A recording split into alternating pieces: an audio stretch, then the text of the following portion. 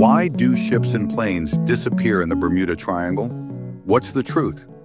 To understand this, we first need to look at its location. The Bermuda Triangle is an imaginary region in the Atlantic Ocean. There is no official map that defines its boundaries, and it is not a fixed area.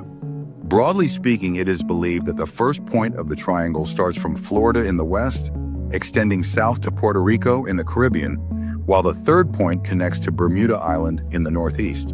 It covers an area of approximately 700,000 square kilometers. However, its effects are sometimes observed beyond this triangle as well. Several theories exist regarding the mysterious incidents in this region, such as the presence of aliens, magnetic anomalies, strong winds, and whirlpools.